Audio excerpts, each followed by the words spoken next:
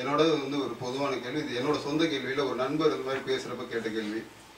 திருக்குறள் நீங்கள் பார்த்துக்கிட்டீங்கன்னா அது வந்து ஒரு மனித செயலுக்கு ஒரு அப்பாற்பட்ட ஒரு விஷயமான ஒரு ஒரு நூல் அது.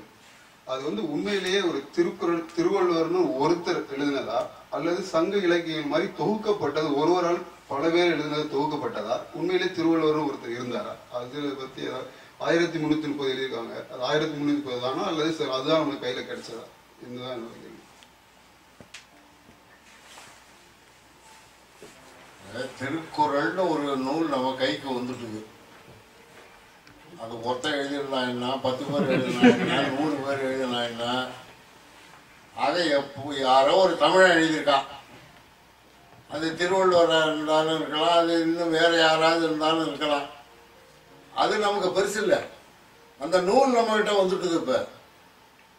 ஆனால் அதில் ஒரு கருத்து ஆயிரத்தி முந்நூற்றி முப்பது பாடல்களை தான் அவர் எழுதியிருக்க முடியும்.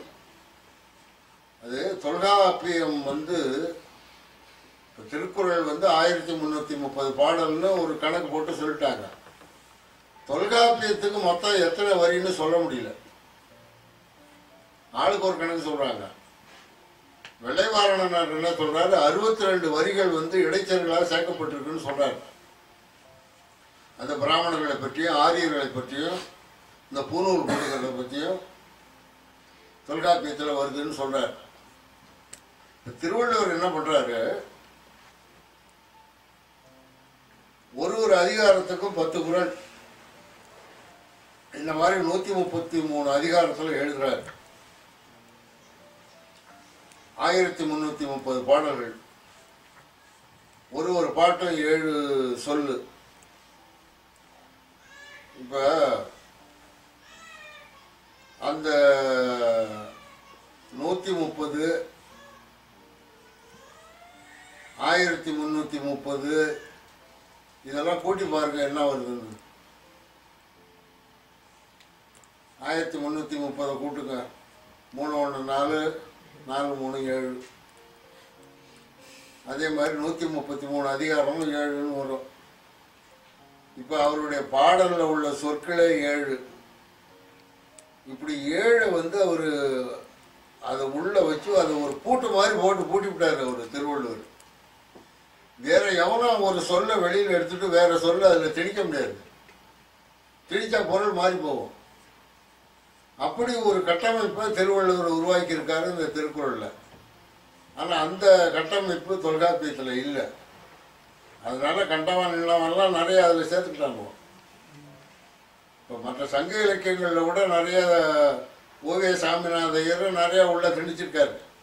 அவர் சொந்த கருத்தெல்லாம் திணிச்சிருக்காரு. அதெல்லாம் இப்போ கண்டுபிடிச்சி கண்டுபிடிச்சிட்டாங்க அப்போ திருக்குறளில் அந்த மாதிரி ஒன்றும் பண்ண முடியல. அது யார் எழுதியிருந்தாலும் எழுதியிருக்கட்டும்.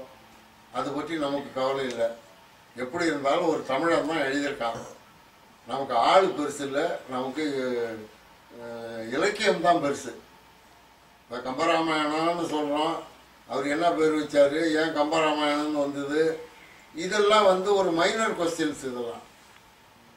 நமக்கு தேவைப்படுறது முக்கியமானது கே அந்த திரு திருக்குறளுடைய அதில் கூட சில பேர் வந்து அதில் தமிழ்நாடுங்கிற சொல்லே அவர் தமிழ் தமிழ்நாடுங்கிற சொல்லே அவர் வள்ளுவர் பயன்படுத்தலை.